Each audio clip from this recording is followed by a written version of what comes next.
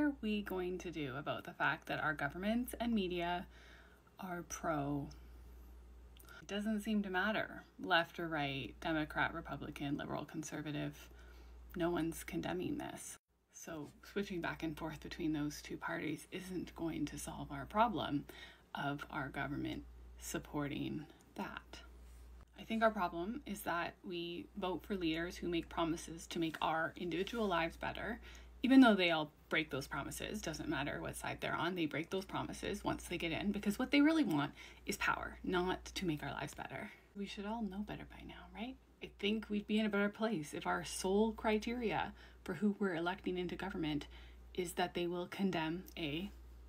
They won't do that, it's either because one, they don't care about civilians, or two, they have been bought out and their interests lie in the money they have received by people doing those sorts of things. It doesn't matter which of those options it is, they're not good for us as citizens. I don't think this is controversial, and I don't think there's many people who are going to argue that having leaders who condemn A is in everyone's best interest and will put this world in the proper direction.